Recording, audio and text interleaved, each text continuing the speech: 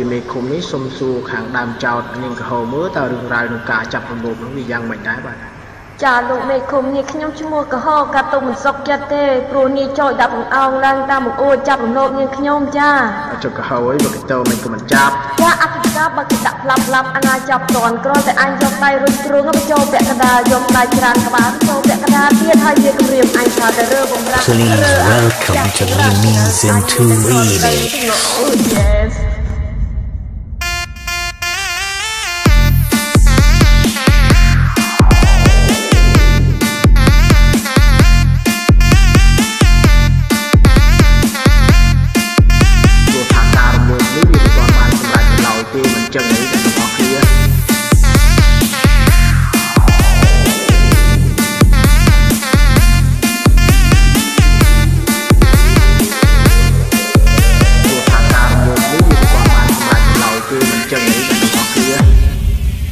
DJ C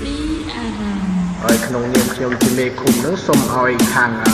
អនាយចូលនោះគឺថាត្រូវជាប់គុក18ខែប៉ុន្តែមុននឹងជាប់គុកនោះសូមឲ្យនាងកហោនោះបដោយខ្លួនឲ្យនាងចូលក្នុងលោកបានសម្រេចផងព្រោះថាការរំលោភនេះវាមិនទាន់បានសម្រេចទៅឡើយទេមិនចឹងទេតែដល់